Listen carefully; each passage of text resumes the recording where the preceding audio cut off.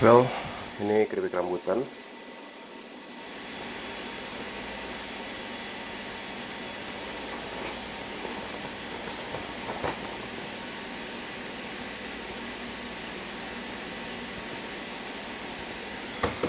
langsung kita buka. Ini by the way harganya gue beli sepak ini ya, jadi nggak tahu satuannya berapa. Sepak ini 120. Ada berapa banyak tuh gue lupa. Apa ada banyak lah. Tuh.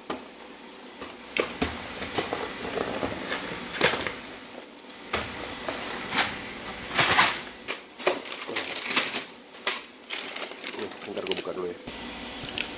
Yo, ini keripiknya. Kayak gini ya. Setelah digoreng mungkin dia jadi kering. Kita cobain ya. Hmm.